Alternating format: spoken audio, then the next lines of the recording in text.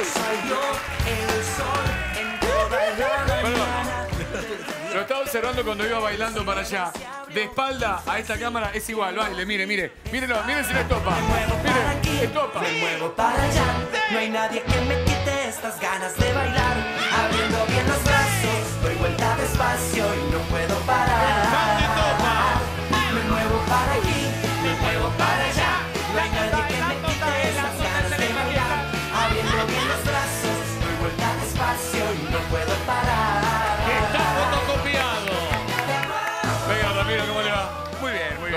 Sí, sí, muy ¿Hincha de qué equipo es usted? De Boca, De Boca. ¿De qué barrio es? de Caseros. De Casero. Fanático de Topa, nos encanta que sea así. Pero eh, cada uno de ustedes tiene como un deseo. Un día dicen, yo quiero ser fanático de Rancaire, yo quiero ser fanático de Guido. ¿Cómo nació este fanatismo por Topa? Tengo una anécdota muy sabrosa Ah, para ver, contar. a ver, a ver, a ver. Resulta que yo en realidad al principio era fanático de la Tota Santillán. Pero todos me decían,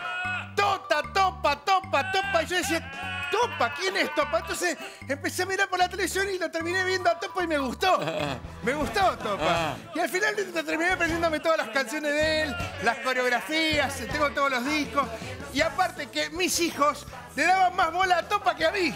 Entonces yo terminé vistiéndome como Topa para que mis hijos también me vieran. Mírenlo, mírenlo, mírenlo, mírenlo. Mírenlo, Topa, bien. Es igual. Bien, Topa. La de Señores, son fanáticos de los conductores de televisión.